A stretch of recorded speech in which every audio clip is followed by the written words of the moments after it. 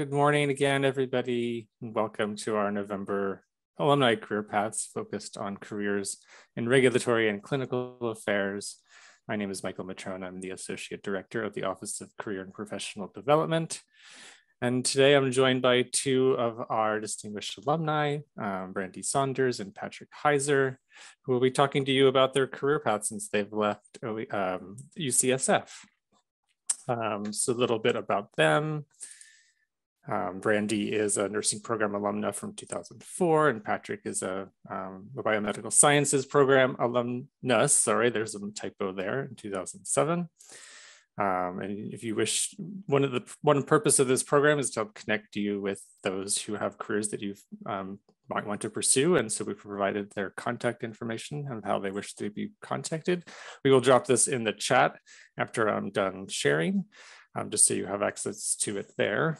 Um, and so I look forward to hearing from um, Brandi and Patrick about their careers and how, and, and the advice that they'll give to all of you about how they got there.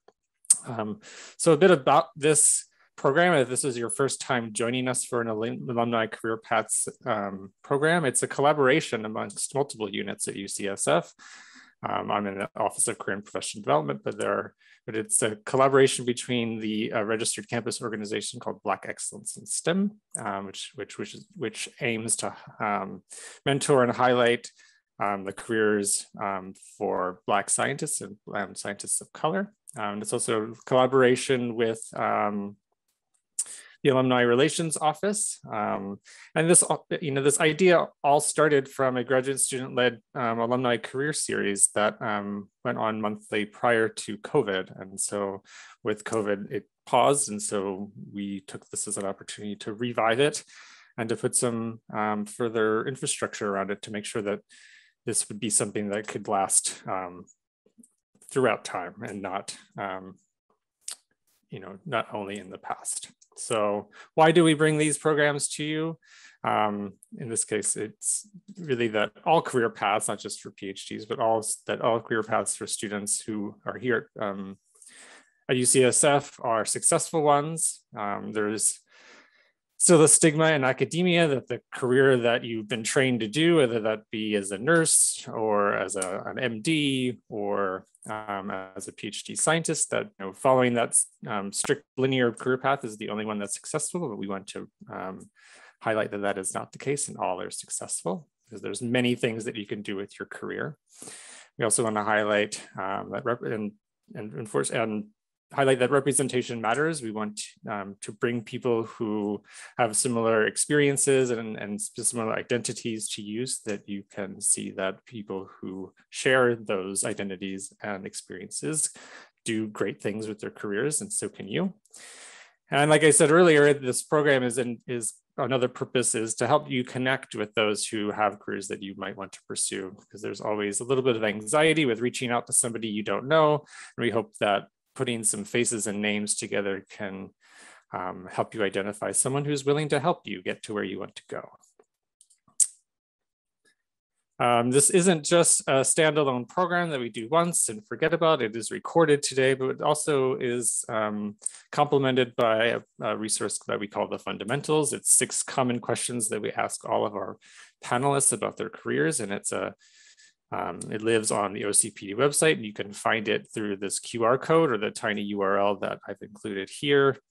Um, and so if um, you are watching this video um, after the live event, you can access this through our website and learn about these career paths from those who do it um, every day. And so I also will drop this tiny URL link into our chat once we are done with introductions. Um, and so just an overview of how this event will go today. We'll go through some introductions. We'll, um, we're going to have Katie Maloney from the alumni office share what is UCSF Connect if you haven't heard of it and how you can use it to connect with others who have been here at, at UCSF and learn about the careers that they've taken. We'll jump from there into a moderated Q&A. Um, that will be the recorded portion. We'll turn off the recording and we'll open it up to those of you who are in attendance today to ask the questions that are important to you. And we'll just have some closing remarks um, before we wrap up for today.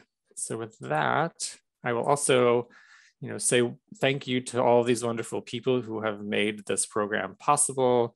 I was saying to Brandi and Patrick earlier that it takes a village to make things like this happening, from inviting speakers to running the show to recording it and you know, and um, taking attendance to those who come. And so can, it wouldn't be possible with all of these people who are involved currently and formerly as well. So thank you to all who are in, um, who have helped make this possible. So with that, I will stop share and I will turn the virtual microphone over to Katie to talk a little bit to you about uh, UCSF Connect if it's a resource you don't know about. Thanks, uh, thanks, Mike. Um, Hi, everyone. I'm Katie. I work in the alumni office, and I'm also one of the admins of UCSF Connect. This is our um, virtual uh, networking community for all of UCSF Connect um, alumni, current students, postdocs, uh, residents, fellows, faculty, staff are all welcome to join. And everyone who joins, we have confirmed our UCSF uh, community. I'm going to share my screen and show you inside UCSF Connect so you can uh, take a peek to see how it works. It's very easy to register and join. You can um, use your email and create a password. You can use your LinkedIn um, login and password. You can use your My Access login and password and, and, and get yourself in. If you use LinkedIn, you can also sync your LinkedIn profile and then you don't have to create a brand new profile from scratch. I highly recommend you do that or make sure that when you create your profile, you create some a robust profile with information about where you've gone to school, what different job and work experience you've had. So people can find you and ask you questions about your careers. But we use this as a way to find and identify alumni to serve on these panels. Um, and, uh, and it's just a really great resource. If you see on the screen here, you can see um, the feed where people post different updates and information, um, articles, uh, jobs, um, uh, events coming up. Um, if you have an event, you could um, post it here um, and add it um, for the UCSF community. I want to show you the groups. We have an alumni careers career paths group that you are very welcome to join. This includes all of our past speakers uh, in the last year or so and the team that is working um, on the career paths programming and every month series. And so you can use the directory to find um, our um, past speakers and connect with them. Um, but you also can use the larger directory. Uh, and I'm just clicking over here to our main directory. You can see we have almost uh, 4,700 users in UCSF Connect. Um, all of them have opted in to join this community. Uh, and, and so I think that that really is a nice uh, way to kind of indicate that they're here and willing to help and connect with you. Um, if I was looking for alumni who are in regulatory or clinical affairs, uh, since it's not a major uh, um, our field of study at UCSF, I'd probably go into the keyword search here and um, type in regulatory, if I knew how to spell it and it um, brought us down to 73 users. Uh, then what I'd probably do is click people who are alums and postdoc alums. Uh, that gets us down to 55. I could then go, um, how are they willing to help? How about answer questions, um, an answer um, specific questions about my field? Gets us 44, still a pretty big list.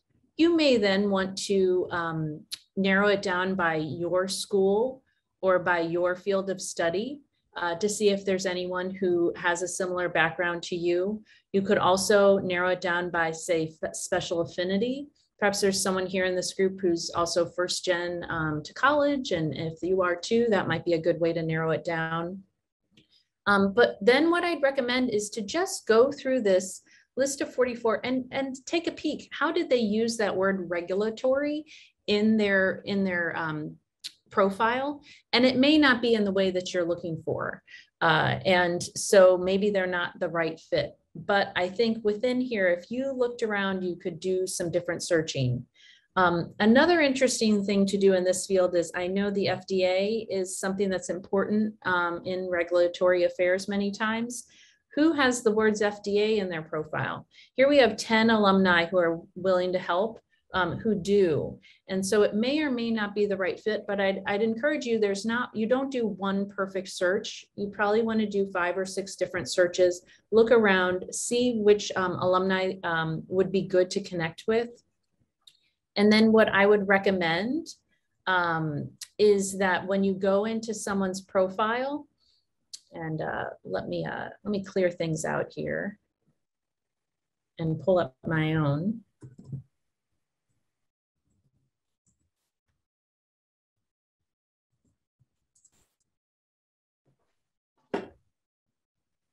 if I was the person you'd want to connect with and you're very willing to, um, um, please email, message me within the community if you'd like to do a test message just to see how it works. But it's as easy as clicking this here.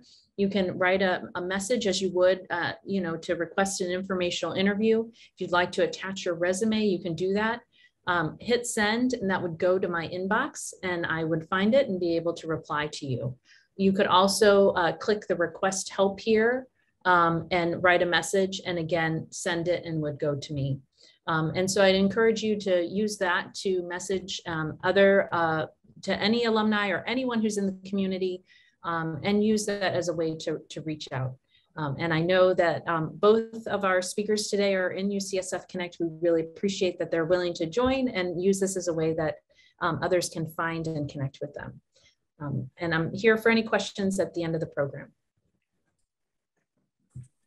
Thank you so much, Katie. Uh, it really is a fantastic tool, um, one to help you to explore careers, but also to find the community that you want to join or, or might want to join, um, because we we feel that, that is important to a successful to career is to be with a community of like-minded individuals. So we hope that you'll use it, and if um, you'll be willing to connect with others on it. So with that, we're going to jump into our moderated Q&A and Jasmine King, who's uh, our um, a student ambassador in OCPD, but and also a member of BSTEM will be co-moderating with me. Um, so you'll hear us both asking questions, but our first one, we'll start with Brandi and I have um, Patrick answer second, but the question is, or the prompt rather, is to tell us your career story. Um, from when you were here at UCSF to how you got to your current role. So, and focusing on things like where you studied and what you studied and how um, your training and your path has led to the current position that you have today. Sure. So, hi, everybody. My name is Brandi Saunders. I am the proud UCSF alumna from the class of 2004 um, in the School of Nursing at that. So, I um, did not do a PhD program. I did do um, an MS Master of Science program at UC. Um, and excited to be here and uh, would love to stay connected with in, uh, any and all of you as, as you um, would like as well. I uh, had initially been looking around and trying to figure out exactly what graduate program I wanted to look into. And I actually was working at the NIH. I lived here in the Washington, D.C. area where I live now and um, had sought um, out some, I would say, top tier um, I, I, definitely think UCSF is a top tier graduate school. So I'm very selective. I was selective about where I wanted to um, to uh, attend graduate school. So I uh, looked at uh, UCSF. I also looked at uh, Columbia, and um, I had been working at NIH as a nurse. Um, uh, funny enough, on the same floor with Dr. Fauci. So we used to do rounds with him regularly, and who knew he was going to become who he has become for us um, over the last two years. Um, but I knew that working on, um, I don't know if you guys are familiar, but that NIH is a um, the National Institutes of Health, and it is um, not a traditional clinical setting. So basically, all patients coming through NIH are within the clinical research. They're on clinical research protocols. They're treated based off of clinical research protocols, et cetera. And so when I was looking around, I saw that UCSF really stood out for me because there was a graduate program through the School of Nursing that was titled Clinical Research Management. And so for me, it was kind of a no brainer. I applied for the program. Um, in the meantime, took a travel nursing assignment out to, to, to, to Los Angeles so I could hang out in LA and um, and and ultimately ended up uh, starting school fall of 2002 at UC and was also working as a nurse uh, at the medical center. So I was in school full time, and I was also working part time. And uh, basically, that was that was how I landed at UCSF. And Um, when I graduated, not even when I graduated, as I was there, you know, there are a lot of different um, areas within the School of Nursing that you can focus on. Again, I was within the clinical research space, but I kind of already knew that I wanted to go down the path of the pharmaceutical industry. Um, I had an interest there, um, but I was probably an N of one um, when I think about some of the folks in, in the program. Um, but I did have some very supportive professors, two in particular, who said, Hey, I know some folks over at Genentech, uh, VaxGen, or some other small companies in the biotech space um, uh, out there in San Francisco. So I kind of focused on that, and that was that was always an interest for me. And I, I, you know, again, didn't after working bedside for many years, I just I said this is what I want to pursue. So um, I took um, uh, my graduate degree and went out back to LA and ended up at Amgen. And um, you know, didn't know about Amgen. I knew it was in Thousand Oaks, California. And I'm like, where is that? I'm, I'm in LA. You know, that sounds far. And uh, a friend of mine was uh, an HR person at, at, Baxter, and she just said, you should definitely look at look at an opportunity. So looked at the opportunity, jumped into uh, the biotech industry via Amgen as um, one of many nurses and doctors that were hired um, in their pharmacovigilance um, department. And so that's a very common um, entryway for folks who have you know nursing backgrounds or, or medical backgrounds to, to come through pharmacovigilance or what they call drug safety and then from there moved into regulatory affairs um, and also into um, uh, what is the other oh office the office of ethics and compliance and so was there for about seven years. And you know what was nice was you can move around. You know if you find a company you like i always suggest you know you know if you're interested and you see something else of interest jump into it. And i did that. And then ultimately came back east and was um, working at Bausch and Lomb, and and then from there and then back in regulatory. So again, I started in safety, went into regulatory, did compliance, back to regulatory, and was um, uh, really excited about Bausch and Lomb, but was extremely bored uh, working and talking about eyeballs all day. And so I just said, I got to find something else. Um, it was very, uh, you know, day to day was very similar. I kind of knew exactly what time lunch was going to be. I was like, this is not an environment I'm used to. Um, but great people and a lot of good work. And then I decided to go over to Forest Pharma. And Forest was very focused on CNS, which is central nervous system um, the central nervous system therapeutic area. And they were looking at treating patients with bipolar, who had major depressive disorder, et cetera. So that was a new therapeutic area for me. Um, took regular over to um, uh, to AbbVie, um, and AbbVie has been a really had been a really good opportunity for me to expand my background in regulatory affairs to now understand global um, regulatory affairs. And so the one thing I haven't actually specified is under regulatory, there are multiple arms. And the area that I chose to focus on, which has been really exciting and fun, has is called with the um, advertising and promotion. And so within regulatory affairs, there's there's writing, regulatory writing, there's reg strategy, there's regulatory ad promo, which is advertising and promotion, and that's what I've been focused on for the past 17 years. And um, there's some other areas. And so um, I'll tell you a little bit more about that in a second. But from there, um, as I mentioned, I went over to AbbVie and really started to learn how you promote prescription drugs in other countries and, and um, spent seven years there before landing at Opus Regulatory, which I have now been um, working at for the last four months. So I'm new to consulting, but basically took my skill set and decided to throw myself into this um, very unpredictable space of working with clients that you know i don't know where they are in their journey of, of developing products, but I find out and I just jump in and work with them. Um, so yeah, so I don't want to talk too much longer. I'm happy to expand more about what I do on a day to day if you if you want um in another during another part of the call. Thank you so much, Brandi. I certainly learned something new because I didn't know that that exists. Like those two different those branches existed of regulatory affairs. So thank you for that. Patrick, same prompt. You know, tell us your story from when you were at UCSF to where you are now, focusing on what you studied and how your training led to where you are today. Uh, happy to do so. Um, first of all, I, I, just want to say how nice it is to see the UCSF logo in the corner of my screen. Um, I think I owe a lot to the university. I did uh, I did two internships as a college student during the summer at UCSF, and they really were pivotal in convincing me that I wanted to pursue a career in science. Um, during one of those internships, I met my future wife, Um, so, so I would program that as well. And so it was no brainer that when I finished my college degree that I really wanted to pursue a career in, in, in biomedical research. Um, the questions in science that most excite me are the ones that are most applicable to, to patient care, to, to improving you know, outcomes and, and safety for patients. And so I, I was very fortunate to have uh, done a PhD within the biomedical science program in the laboratory of Matthias Hebrok within the Diabetes Center.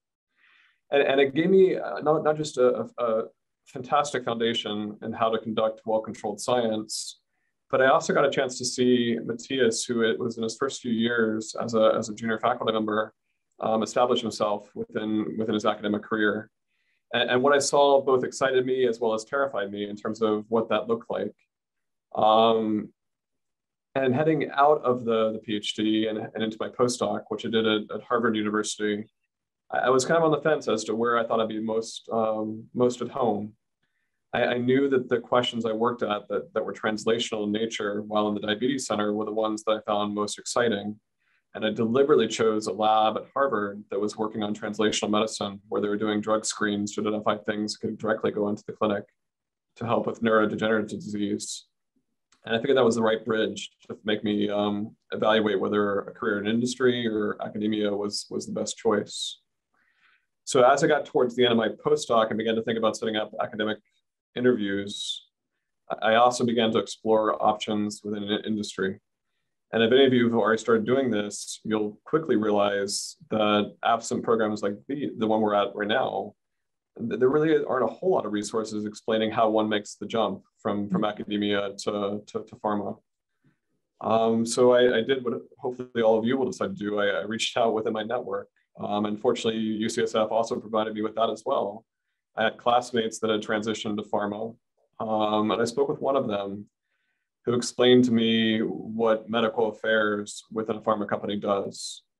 And so medical affairs is the branch of the company that helps communicate the science and the clinical data supporting the safe and efficacious use of, of products um, you know, in, in, in the clinic. Um, and she explained to me that she had had a role as a medical science liaison, which is terms I'd never heard of before, but it turns out this is a position that works in the field and helps interact with key opinion leaders and physicians to, to directly address their questions as they arise.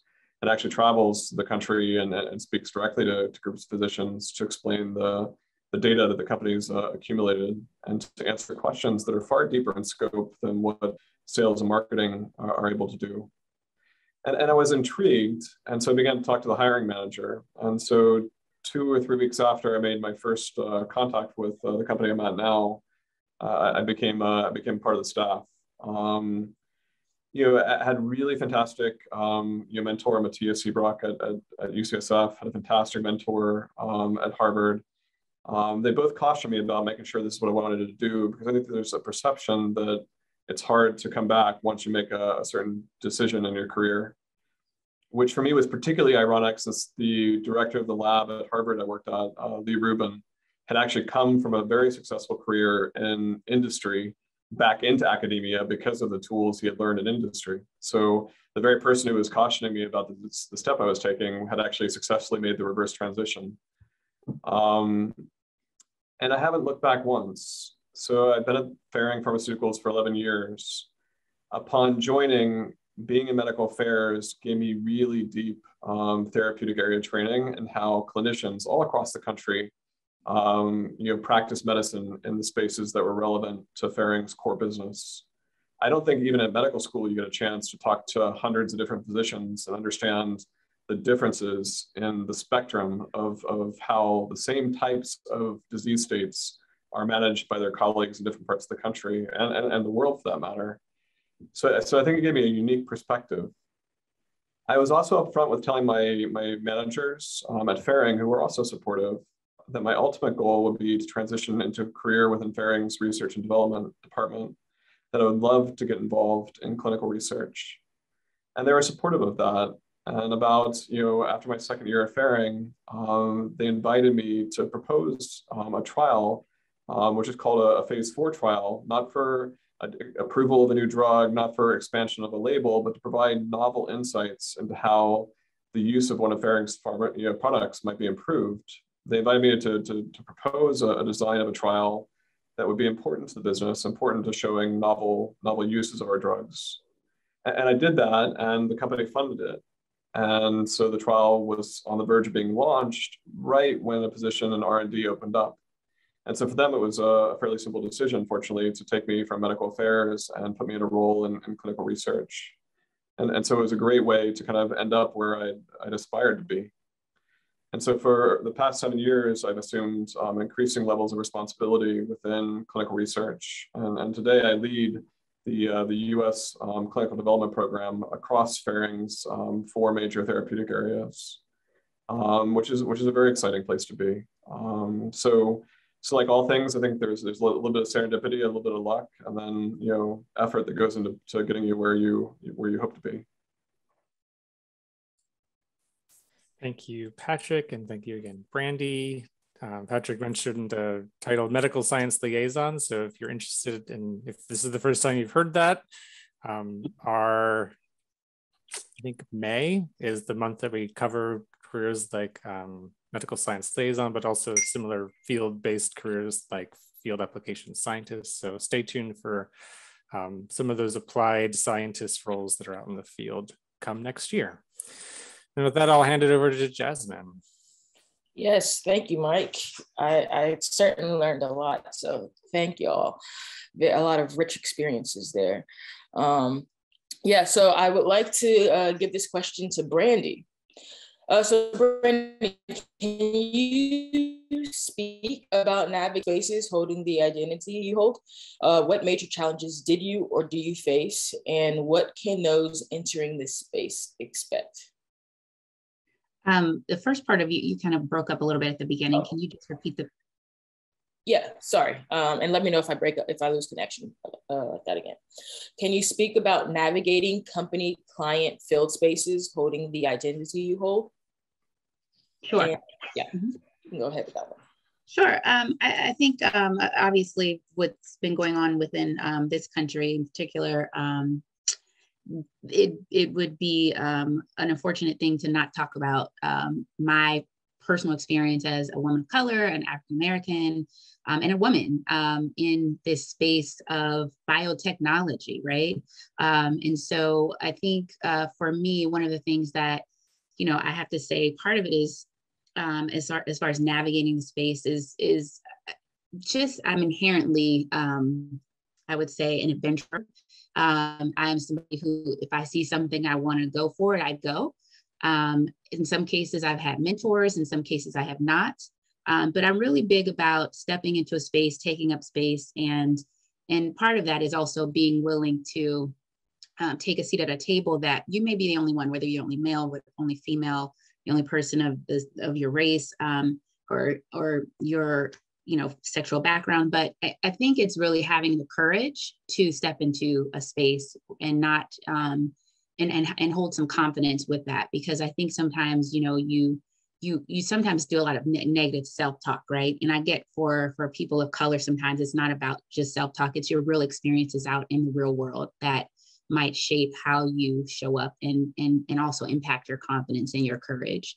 Um, and so i think you know for me it was really always about arming myself educationally and making sure that um, i'm prepared when i walk in a space i am knowledgeable and if i'm not that i can admit if i don't know something um, and really also leaning on allies right so i think before that was a thing right and i say it was a it became a thing in the last two years where everybody's talking about it but I've always really leaned on people that don't look like me, um, people not from the same background as me, to really um, so to, to get some support and to help me navigate. And, and when I think about UCSF, you know, I had, um, I think, I don't know if she's still there, Catherine um, Waters uh, was the one African American professor within the School of Nursing. And, you know, naturally, I was just, I was excited when I walked in to see her, but I was also excited to see some of the other uh, professors. And then kind of like hooked myself onto those who knew that I had an interest to not follow I would to go off the beaten path because sometimes you get discouraged too because you know it's like well nobody does that nurses don't go work in the pharma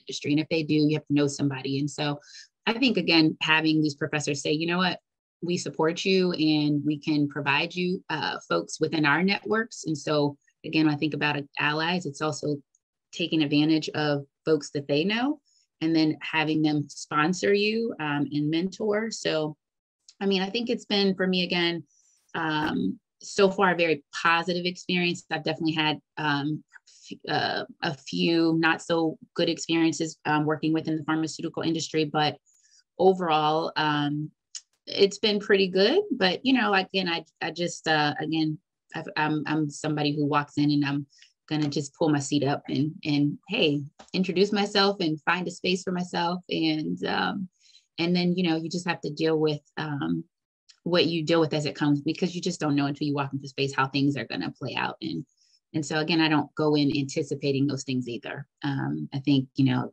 it's just not who i am but i don't know if that helps answer that question but yeah thank you Brandi i definitely resonated with a lot of what you said being that i also hold a lot of intersectional identities um, yeah, so uh, I'm not sure if you uh, could speak on the second question. If you if you don't have a, a specific answer, uh, I can definitely pass it on to Mike so we can go on to the following question.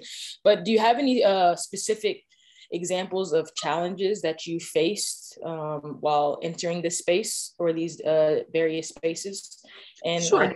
that you didn't expect?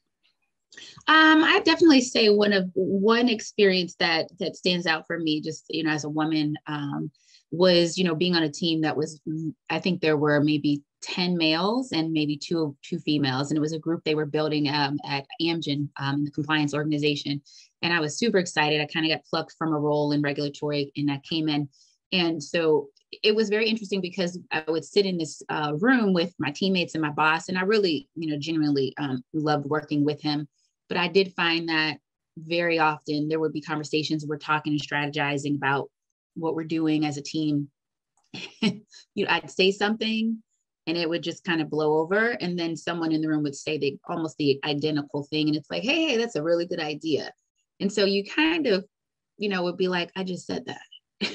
Right? and so i definitely was like i know that it didn't come from a, a, a bad a, a, place of intent a bad intention or malintention but it happens and it, it does impact you. And so you know some of those things actually can impact how you ch- show up and your behavior in other settings right? Because you're feeling like i'm not heard. Um, so what do i need to do make sure i'm heard? And so that was that was an interesting one because I, I was just like well I, you know i really like all these guys but there were literally two women and like 10 guys and then they would go do lunches together because they kind of had an issue with and back then that's, when a lot of um, inf- affinity groups started so there was always um, there was you know the Asian um, Amgen Asian group, the Black Employee Network. There was all of these groups LGBTQ, but there there really wasn't one for white males. And so I think they start to create their own little group. They would go to lunch, and so you know it was I get they, they maybe they had a concern with with the way that the company was kind of supporting other folks, but that was always interesting but i just really tried to push that off but really mostly what i did was just talk to my boss and just tried to make sure he understood kind of that I added value. Um, and i was really concerned about about um, you know again you always want to impress your boss and you want to you know um, please your your leadership. And so i think for me that was one that stands out was just just being a female and and um, one of too um, and just feeling like okay i'm not sure i'm being heard you know and and how can i add value if i'm not being heard? Yeah that's definitely one that would stick out to me also two out of mm-hmm. 12 yeah so kudos to you for being able to navigate that and still find a way to show up every day. So uh, thank you for that example and i'll pass it on to mike. Yes thank you indeed Brandi. So this next question is for both of you and it's thinking about how you got to where you are now and asking what has been the most pivotal in getting to you to your uh, excuse me what has been most pivotal in getting you to the position you have currently? And we'll give this to patrick first. So i think the uh, the most pivotal trait that gets got me to where i'm at now is the same one that got me through graduate school and my postdoc. I think that it's really important to maintain a healthy sense of optimism um, even when things look pretty bleak. And the same thing is true for a failed experiment as it is for a failed clinical trial or disappointing feedback from the FDA. And oftentimes you can take those things and, and turn them to, into a positive. And, and there's you know, I think the, you know, a, a, a power to that. Um, and listening to some of the uh, eulogies for, for Colin Powell, I was uh, struck by somebody who mentioned that one of his guiding principles in life was that optimism is a force multiplier. And, and I think there's a lot to be said for that, um, especially dealing with the complexities, not only of bench research, but also the complexities of bringing a drug to market. Um, given the, the shocking number of all the things that have to go right for anything to, to, to hit the, the US market, um, it's amazing that any drugs are approved, to be quite frank. So I think having optimism in terms of the approach is, is, is really important. And um, I think that's, that's, that's pivotal. I, have talked to the fact that taking advantage of synergies um, is, is really important, but then also being eager to, uh, to take on new responsibilities and to volunteer for projects and to, to really cultivate the, the collaborative relationships you have. Um, again, that's no different than what all of the you know the people here at UCSF are doing currently in their in their academic pursuits. Um, you really it's almost impossible to do things on your own. You, you, rely upon having a really strong team, a really strong support network to, to move things forward. Um, so I think those are the things that, that have allowed me to, to be successful um, in my career. Thank you for that. And Brandi. I think, um, again, speaking to just my fearless spirit, I, um, I definitely consider myself a go-getter. I um, am very ambitious and driven and um, curious, right? I think having a healthy sense of curiosity, um, even when something's good, you can have a really good role that you're in and you're like, yeah, but what else is out there for me, right? So for me, um, I'm going through that now and I just started a role uh, four months ago, right? So um, I would say again, just uh, and also, you know, uh, going back to what Patrick said, having um, and taking the initiative. Um, and I think a lot of those things have led me to where I am. But I would say one really important thing that has done me so, so much good is just this concept of like building and maintaining relationship capital. And so it is really critical that, you build relationships and meet people, talk to people. I think it's increasingly difficult now with everybody working from Zoom, you know, from home or popping into offices now where you might not be there and or something happens the day you're not there. So so you have to do put a little more effort into it. But it is really and for some people it can it can put them in a in a place where they feel out outside of their comfort zone. Um, but you know, you can't really fulfill your calling in your comfort zone. That's that's what I like to say. And so, um, you know, I'm very purpose driven as well. So I, I'd say those are some of the things that um, have helped me to get here. Thank you both. Me and OCPD were just talking about that yesterday about how like the effort to connect with those with whom you work or in your network is takes a little bit more now and we're trying to think about how do we integrate that into this new way of working. So mm-hmm. thank you for that. I'm glad we're not the only ones thinking about this too. um, Jasmine, please, I'll hand it to you. Yes, definitely. So I will pass this question to Patrick again. Uh, so as a grad student or postdoctoral scholar, what were your values? Uh, what were your value? Uh, what values were met in your first role following your grad school or postdoc experience, and which were not? Uh, and what are your values now? And I'll pass it on to Brandi. Oh, I think you lost connection. I'm sorry, was that question for? for there we go. yeah, sorry, sorry, Patrick. Yes, uh, this Patrick is for you. Uh, if you need me to repeat it, I can. No, no, I, I think I heard it. So uh, you, you, asked about what my values are um, now versus what they might have been as a graduate student and postdoc. Yeah, exactly. Yeah, so um, they haven't changed. Um, I think that one of my biggest professional fears is being bored. And so I don't want to do things that are boring. I want to continue to grow. I want to do learn new things. I want to develop new skills. Um, I, I, want something where each day is a new adventure, and um, you know, to date, I haven't been disappointed in that. Um, I, it also took me a while to understand too that it's the it's the struggles um, in school, it's the struggles uh, professionally that actually give all this work meaning. Um, you know, that the the most joy I have is actually coming up with solutions to novel problems and understanding that actually is is it lifts a big weight off of you that um, these things that you see that you know could be seen as being quite uh, quite negative are actually opportunities to to be creative and innovative to uh, to find new solutions. And that's that's really where the I get the most joy now. It's where I got the most joy um, as a graduate student once once I realized it. Um, and then I, I want to do things that that are meaningful um, I began my my initial career back um, when I started uh, undergraduate, um, focused on marine biology. I, I, grew up in Ohio. I, am not sure why I was fascinated by the ocean. I had only seen it once when I was three, um, until I, I began a, a program in, in, marine biology. But I, I, I loved sitting with my grandfather watching old old episodes of Jacques Cousteau and Sea Hunt. And so I started off in marine biology and I loved it. Um, but at the time, what was missing was a little bit of the uh, sense of urgency. And I heard a talk by, uh, by a cancer researcher talking about his research, and it was immediately apparent to me how vitally important those, those uh, research questions were.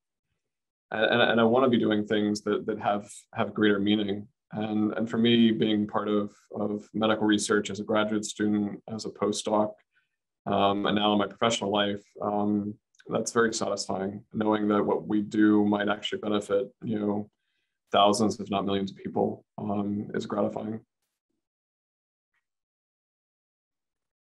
Perfect. Thank you patrick and i'll pass it on to you Brandi um, if you need me to answer uh, restate the question i can. Oh no i think i got it. Um, so i would say for me um, well for one patrick we have to chat after. I'm from Ohio as well. So I'm like super excited over here, like, woohoo. Um, but uh, yeah, I think one that again started with and is still here today for me is just excellence, right? You know, truly that word um, means a lot from just an early age all the way through now. And I think um, that theme again and that value is is so important. Um, I think the other thing is is just when I think about career wise. So that was definitely for school. I think hard work. You know, just knowing like you know, we've always been told hard work pays off, and and I do think that there there's still a lot of truth to that. Um, I realized um, that I realized though first job right what was what I realized wanted to be was was a I would say a big focus of mine is coming from a clinical background, having a strong clinical foundation, and being a nurse, working bedside, um, having these relationships I built with patients, you know, in the room, building relationships with their families. That while I wanted to transition into the pharmaceutical uh, industry or biotechnology industry, it was super important that I really work for companies that their mission statements were very clear and that patients were truly the focus. The patient is the North Star of everything that you're doing um, and not profit. And there are companies that even now, profit is still it is it is high on the list. I mean, of course, everybody wants to see these you know companies prosper. I, am you know obviously as a stakeholder and have worked in the industry, it's important. But but I mean, I think when you think about again the human, just the human connections that I've had with patients, and to go somewhere and really make sure that the companies I'm working for for patient focus, but also that, um, and, and I've, I've had such good, interesting discussions with HR uh, departments at companies when I've interviewed about the C-suite and what diversity they had um, up in the leadership, uh, you know, the office of the CEO. And so I've actually turned down opportunities where I saw no women or I saw, um, you know, just uh, uh, white men, you know. So I think because I think it sets a tone for the organization, and so I think those are those are important things to make you know um, culture also of an organization i would say is, is an important value. So those are those would be some of the things i would think. Um, i don't know when you say that i've not met i don't know that i have any there i would that jump out at me but no yeah that's great. Thank you so much Brandi. Um, and i'll pass it on to mike. Yes thank you both of you. I say this often but i I always stress the importance of someone's values in their career decisions because regardless of doing something you enjoy doing and that you're good at, if it doesn't meet your values, then you're going to not enjoy your work and look mm-hmm. for new opportunities. So, mm-hmm. um, so thank you both for, you know, telling your stories in that regard, and hopefully we'll connect with others. So with that though, Um, speaking of the triumvirate of skills and interests and values, we're going to pivot to skills and thinking about like the skills that your training provided you while you're at UCSF that you currently use regularly um, and what those might be and versus what skills did you need to learn that wasn't part of your training that you had to learn on the job or um, seek out resources to learn in another way? And I, we'll start with Patrick because that seems to be like how we're bouncing back and forth to give everybody, uh, give somebody a break and you, Brandi, from speaking. So, so we'll start with Patrick. Uh, thanks. Um, the, the critical thinking, the experimental design, the data analysis, um, these are all skills I honed to the bench um, during my time at, at UCSF. Um, they certainly have served me well. Um, it, gives me the ability to understand and speak credibly to the enormous amount of translational research um, that, that leads therapeutics into the clinic. And, that, and that's really important when interacting with internal stakeholders, where you're looking for support of the project, as well as when you're engaging with regulators, those the FDA, you're trying to convince of the merits of your proposed trial design, and then explaining how you arrive at those trial designs to the investigators. I mean, those those those skills are all um, really important and, and, I just want to mention too that where I'm at currently in the company is not typically a role that um, is is open to, to PhDs. Usually it's a, an MD uh, that's required for, for a path through clinical development. Um, and, that, and that component of the job is that, that relates to that is the monitoring of the safety and subjects in clinical trials. And that's why companies tend to focus on MDs, the role. Um, it's also why um, I think for me the path forward into the company was was lateral in terms of showing my competency and my capability to, to allow me to rise. Um, but what's very true is that no um, member of the clinical department uh, makes decisions about safety in a vacuum. That there's full participation by other internal physicians um, who have the medical training to, to make uh, review rigorous um, and satisfying liability concerns. And there's, there's external physicians that sit on those committees as well. Um, and, and here again, like having the really strong biomedical science foundation that uh, UCSF provided has, has served me really well in holding my own in those conversations. Um, in terms of um, things that I needed to develop, um, you know, regulatory affairs was a mystery to me at first. Um, you know, I, I, I, needed to understand all the different lights of the dashboard that have to be turned green before before a drug could come to market. Um, the rules, the regulations, the site interactions, um, industry guidelines. And here, being medical affairs is my first stop in, pharma was a was an asset because medical affairs interacts with all these core functions within the company. Um, I even got to sit on um, the review of promotional sales marketing materials that Brandi referenced, although my job was provide medical um, oversight rather than regulatory. Um, and as Brandi mentioned, those, those things are quite fun. Um, and then the, probably the most important thing for me um, when I was first getting started and continues to be an area where I, I want to grow is uh, developing a really detailed understanding of statistics. Um, so knowing your stats, speaking the same language um, as the biometrics team, that is a superpower. Um, one I coveted, one I still you know, continue to try to, to grow. So being able to argue the relative merits of a, frequentist versus a Bayesian uh, adaptive design um, ends up being super important. Um, you know, in terms of uh, your ability to talk to, to FDA, your ability to talk credibly uh, to, to investigators and, and, publish really good papers. Um, so those, those, are the things that I that I continue to, to work on. And then yeah, as, as my responsibilities have grown, um, you know, I'm focused on you know developing my management skills. So it's it's a really it was a shock for me moving from a role as an individual contributor where I've been my entire career into trying to manage a team of individual contributors and to and to give them the space and the and the, and the guidance, the support they needed to to, to survive and thrive. Um, just just as all the strong mentors I had had throughout my career gave me. Um, so th- those are things that I'm, I'm currently focused on and, and continue to work on um, in my day to day. You. And Brandi. Yes, um, I would say for myself, you know, coming from NIH, and I just, you know, right out of undergrad, went straight into working in a clinical research environment at the bedside.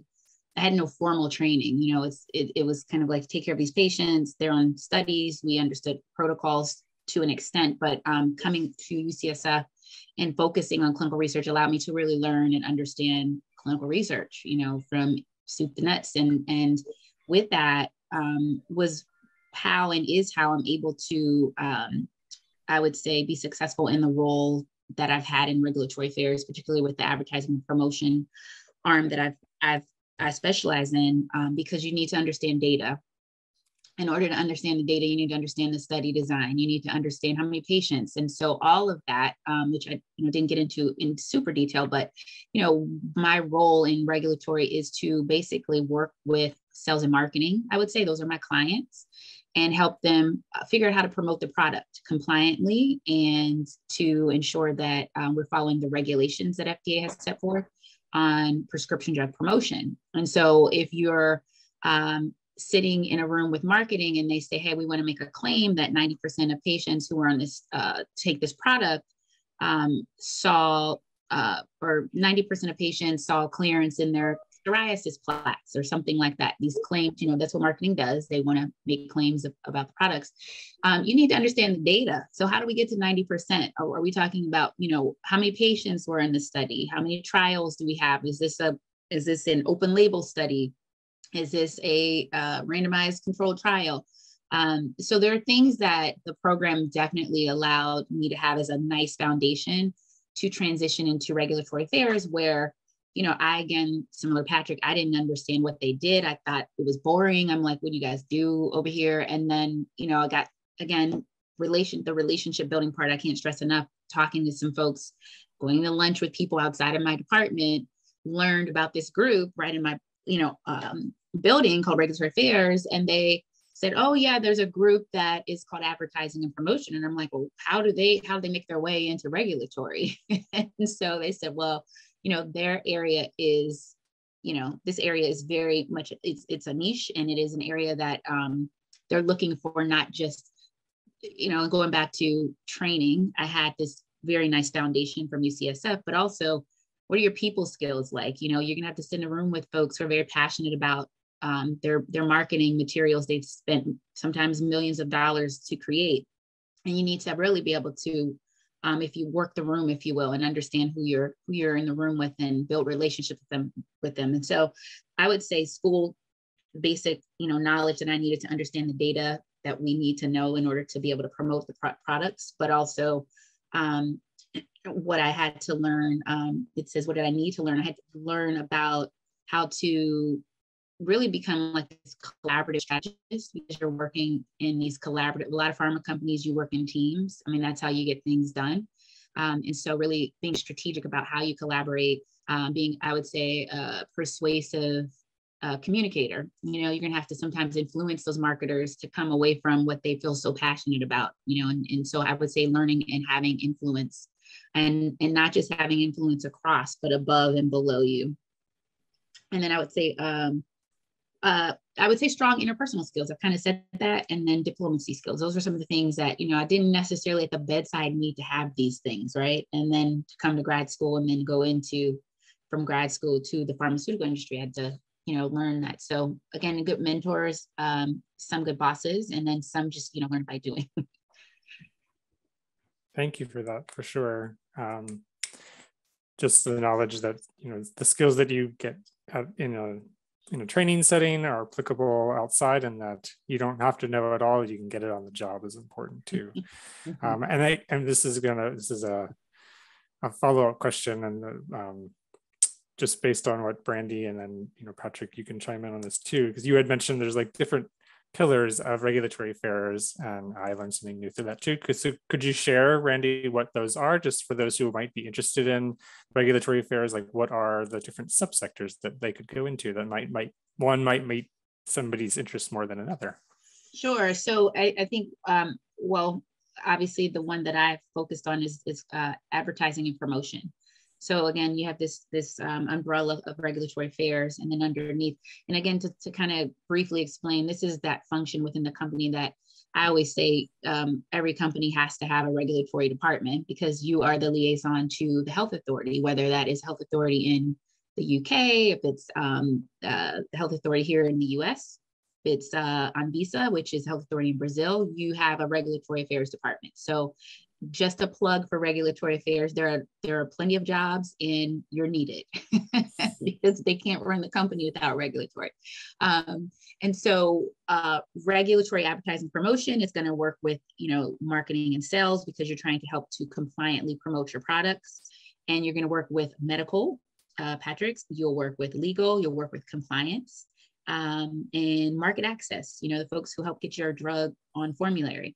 And then you have um, submissions, you know, that's a function that people don't always realize, but somebody's got to get this stuff to the FDA.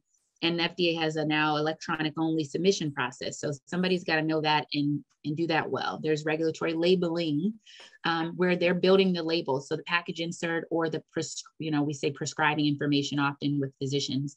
Someone's got to draft that and that's what you that's your label. That's what says here's what the indication is, here's the adverse event data, here are warnings and precautions, um, etc. So that's labeling. And then you've got strategy role, which is a really cool role, I would say. Um, and strategy um, is really about, again, how do you get this product to market as well? It's a, it's a different function than my role, I would say, but it's a super important role. And you're looking uh, globally, oftentimes more so than not these days um, you know, to strategize with your uh, other uh, regulatory contacts in other parts of the world and also your marketing teams to really understand, okay, here's what we want to, this is the product, this is what we identified as the area that we're going to go for, or we want to develop product here, develop a product. So this development process, I think you really would see, and Patrick, I'm probably over overly simplifying this, but um, really the development of that product, taking it from clinical trials to commercialization. There's a strategy role, right? That sits really nicely within there.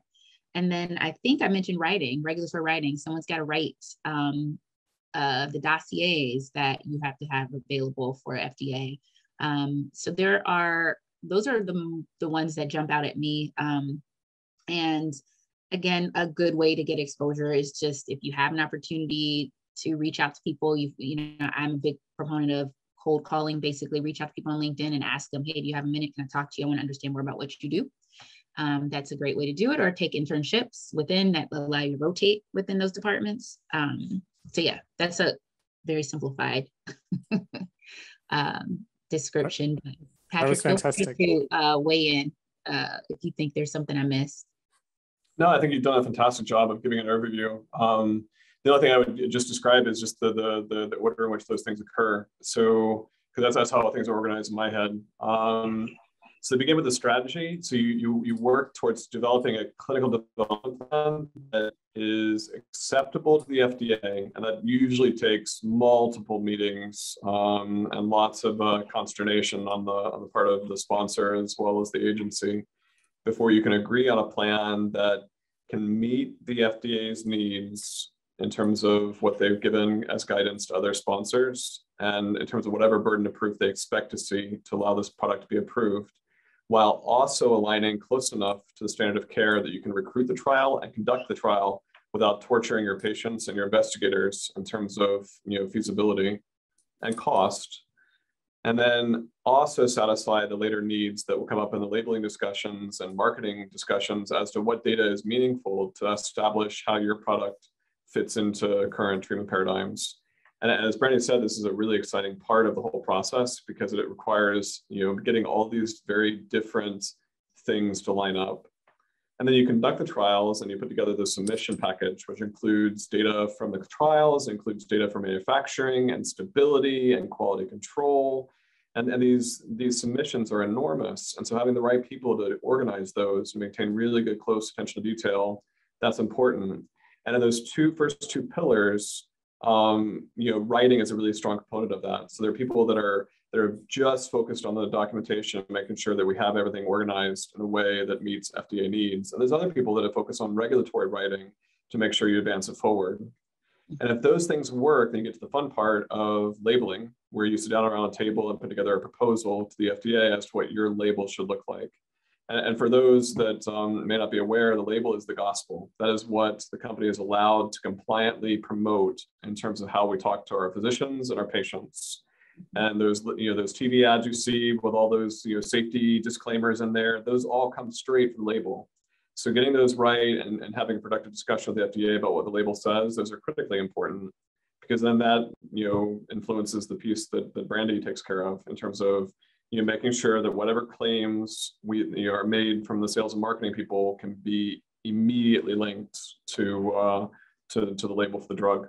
So it's it's a it's a really dynamic um, part of the company for sure, and one that's critically important. Thank you both for that un, unpredictable, well, not unpredictable, unprepared question that I threw at you. So I appreciate it. Um, on that, if people are interested, because it's you know like Patrick said, where does this all fit in in the order of operations for product development? There's a great book, and I'll drop the link in a moment. It's called Career Opportunities in Biotechnology and Drug Development, and it will allows you to see like what are all the careers along a product development pipeline, and because there are those pre-development or pre-market and those post-market as well. So it's a great resource if you're curious what where you might fit in in a in, in industry broadly. So, and with that, I will pass it our last question off before we open to Q&A to Jasmine. Yeah, thank you, Mike. And again, I learned so much because there's so many, so many moving pieces or moving parts that you just lose sight of. And you think that one person does all of these jobs or something like that, but it, it really takes a village, like Mike said earlier. Um, so for our last question before we enter into the q&a so how does your current position fit in with your overall career plan or story? Are you in the position that is best for you right now or is your current position a step on the way to your career goal? And i'll hand this over to Brandi since you kind of just made a career switch so I think that you can uh, start us off here. um, I yes, I'm definitely the person that you come to for support if you're struggling with the concept of moving around because I have no fear. Um, I think it's about having again, I said, be courageous and having confidence, and also, you know, people forget, but you know, you working for a company at any moment they can let you go, but you always want to be able to be ready to step out and you take your career where you want it to go um, and not feel like you owe this company something. You know, when you're working for companies that are 40,000 employees, they, they may treat everyone well, but at the end of the day, you have to decide what is important to you in your career and how you to best get there. And so, that being said, um, as somebody who's been doing at promo, I say, or working in advertising promotion under regulatory affairs for the last 17 years, um, I have had a couple of stints within the ethics and compliance space. So there's an ethics and compliance component of pharmaceutical company that is super critical and actually a lot of fun as well. You actually spend a lot more time looking at what the company is doing from like basically A to Z, like all things that the company's doing. There's a compliance probably uh, uh, function that is trying to make sure the company is not going to get into trouble and have the Department of Justice come in and slap them with fines and other other uh, things that are not fun to have. Um, so um, I am really trying to right now just enjoy the consulting life. Um, it's been interesting. I'm enjoying it. I will say though, because of the way that again my brain works and I'm already looking ahead. Um, and I'm really eager to, while I'm consulting, this was part of the reason why I did this, was to step out of pharma from a, you know, um, traditional pharma role into a uh, consulting roles because I wanted a little more time on my plate so that I could explore the cannabis industry. I think there's going to be a huge need for regulatory professionals, as you guys probably know. Um, there already is some somewhat of a need, but particularly with the federal government, should they legislate or provide some legislation, um, there's going to be a huge need for folks with regulatory backgrounds. And so I'm looking at that um, in the future, um, as well as tech. And I think you are probably like tech what? Well, you know, I saw and have had a couple people reach out about, you know, Facebook is looking for an FDA compliance lead. You know, TikTok needs somebody to help them with some regulatory stuff. So you know, I'm always thinking about how I can take my skills and my background and how do I take that over and again have impact somewhere else. So I am looking at those two industries. And so I would say, again, uh, fear not and uh, and don't also allow people because they will and all of my friends and, and even family they're always like weren't you there for, you know, or they're they're trying to figure out why you're leaving this good job. You know, it's like, well, I can get another one, you know. There's more than one good job out there. So I'm just of the place that I say, you know, pursue your dreams. Life is is uh, unpredictable and it is limited. And so it is really important that you follow your dreams. And if you need to change course and you change your mind, that's okay. So that's kind of my my advice there. Thank and you, what I'm working on. Yeah, definitely. You have a lot in store. So I'm looking forward to see where you end up next. next panel. Next panel. exactly. Next panel. We'll have you uh, for another uh, sector or another month. Uh, Patrick, we'll pass it on to you to uh, close us off with this question. Sure. So um, I, am I'm, I'm where I want to be. Um, I'm developing drugs. Um, I want to bring drugs to market. And um, you know, last year, in the middle of the pandemic, where things were pretty bleak, we actually got our first um, FDA approval for a drug that I've been working on for for seven years, um, which is really really exciting. Um, you know, I, I, want more of those. I want, I want that feeling of uh, of elation. I want that the next high. Um, I want to know that the things we're doing actually will reach patients. Mm-hmm. Where I do that, to Brandi's point, um, you know, it's it's where the next challenges lie, or where the next you know interesting um, you know, problem to be solved therapeutically you know exists and I'm certainly open to, to wherever that path leads. But, but for right now, I'm, I'm happy at the company I'm at. The projects I'm interested in, you know, that I'm working on are very, very engaging and interesting. And I, and I know that what we're doing will ultimately matter. Um, so, you know, I, it, it's a long and circuitous journey, but, uh, but I'm, but I'm, but I'm where I want to be. Um, and, and, this is the path I think that I kind of decided on when I pivoted way back as an undergraduate from, uh, from marine biology research towards towards medical research. Perfect. Thank you, Patrick. And that's really exciting. Congrats on uh, getting that drug accepted. So, was it accepted for clinical trials or it's, it's accepted for approval through the FDA and you're about to get it on the market? Sorry, so it's been, it's been approved by the FDA. It's the first new treatment for infertility approved in the US in 20 years um, which gives you an indication as to how hard it is to find uh, a feasible path and, and bring it to fruition. Yeah, in seven years, that's really short because if I'm not mistaken, it's about 10 to 20 years usually on average, right? You are correct. I've only been engaged in the project for seven years. Um, so, so that's that's where I pick up the plot. So I, have spent seven years thinking about it, but there are certainly people that have been involved far longer. Okay, that makes sense. Thank you both.